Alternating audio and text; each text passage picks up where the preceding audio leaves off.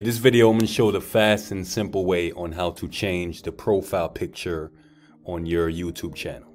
All right, so first you must make sure that you're logged into your YouTube channel and you would go to this tab right here on the top, right side, click on that, and you're going to scroll down to YouTube Studio. Click on that. Then right on the right side here, we're going to scroll down to customization. Then once you're on the channel customization page, you're just going to click on branding right there in the middle. And right here, you're gonna see your profile picture, your current profile picture. All right, now once you click on branding, you're simply gonna go to this tab right here that says change. Click on that. And then you're gonna upload the file of the picture that you want to use.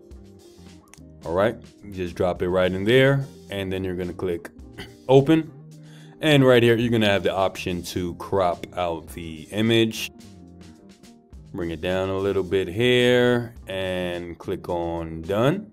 Now it's going to show their new profile picture and you want to make sure that you go on this right side here and click on publish.